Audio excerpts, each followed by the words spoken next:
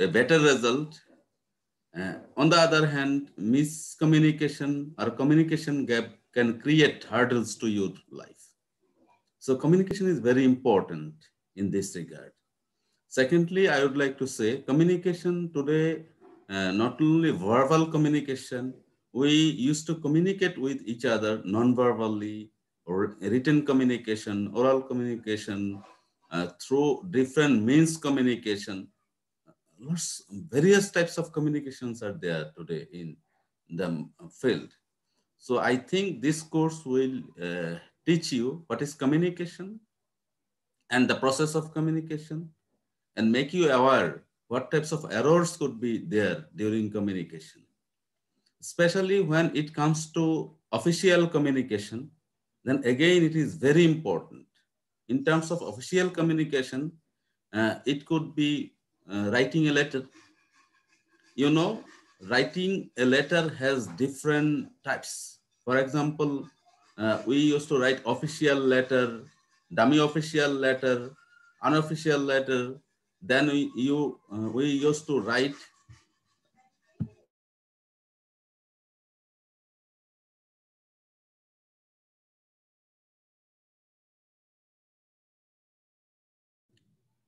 sorry for the interruption. Then uh, when uh, the official communication, then we use different forms of letters. Not only letter, in terms of official communication, presentation is one types of communication. That is one to mass communication.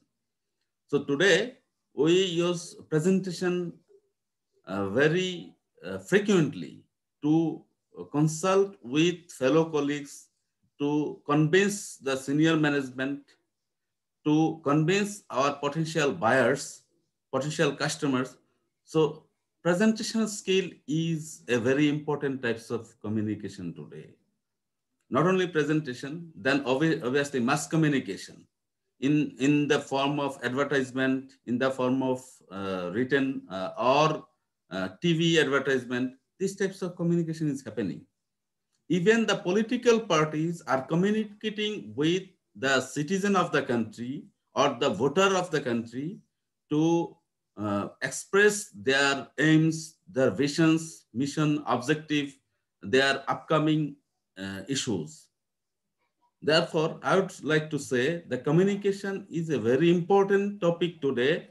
And you, if you all are ready to learn something then obviously the content of this course, I think it is very rich and our trainer pool led by Mr. Morshedul Azad. Mr. Morshedul Azad is the lead trainer here. And obviously uh, he has a few other fellow, fellow colleagues who will teach you on not only verbal communication, also non-verbal, also um, written, also uh, presentation skills, uh, and any other forms of communication. So I wish you all will be attentive and regular in the classes. And finally, you will achieve something extra what you have now. Today, you all uh, have joined in this training program uh, to learn something which will be useful in your offices. Obviously, I know uh, most of you are from medical background, doctors, some of you are uh, engineers, some of you are advocates, and from many, uh, from mainly from one company particularly, but and there are other company participations as well. So I will request you, please be regular uh, to your classes and be attentive because in terms of communication, it is uh, one single body language can express your attitude if your body language is not up to the mark, then obviously in the corporate arena, you will face problem. It is your tone, voice tone, which can give you extra mileage as well as can create hurdles in your daily life, in your corporate life. It is your way of dressing, which communicates something about your personality with the society it is your uh, attire. It is uh, your daily way of expression can have an impact on your corporate life.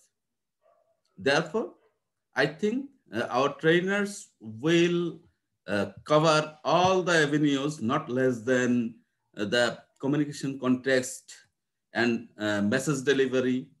Then uh, obviously another very important issue in the form of communication is culture.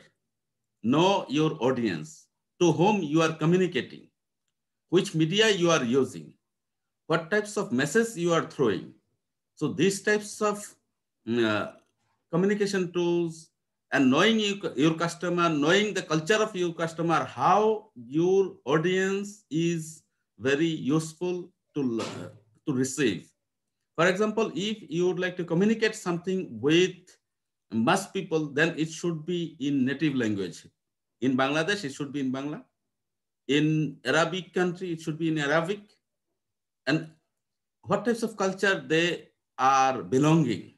For example, if you would like to sell short dresses in any Muslim country, it is impossible. As well as if you would like to uh, sell, uh, uh, I am Islamic dresses in France or uh, other countries, those who are prohibited, then it will be impossible. So know your customer first, know your audience first, how they are used to live their life. Then according to their, their level of education, according to their level of judgment, according to their expectation, you formulate your message. Because you are the first initiator as a company, as a entrepreneur, as a promoter, as an uh, executive, you are the initiator of the message. You are a uh, communicator.